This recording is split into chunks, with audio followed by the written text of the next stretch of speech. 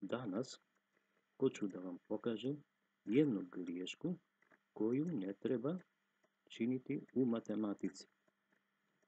Na primjer, minus 4x je veće od 20.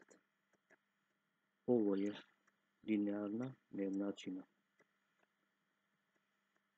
Množimo sa minus 1 i dobijamo minus po minus, to je plus 4x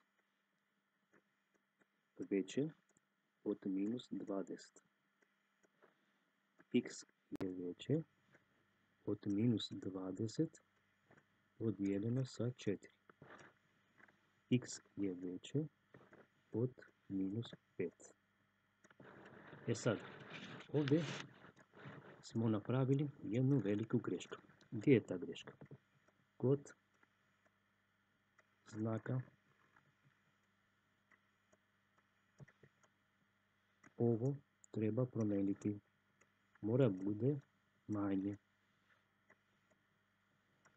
Znači ovdje je ne. Pravilno bit će ovako. Minus 4x je veće od 20. Množimo sa minus 1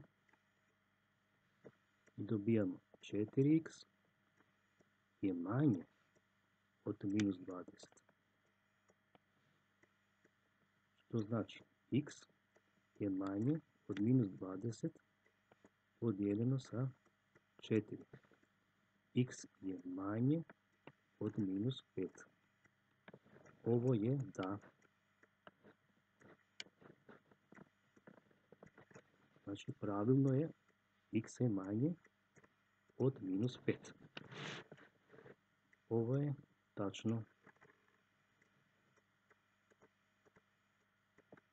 Toliko za danas.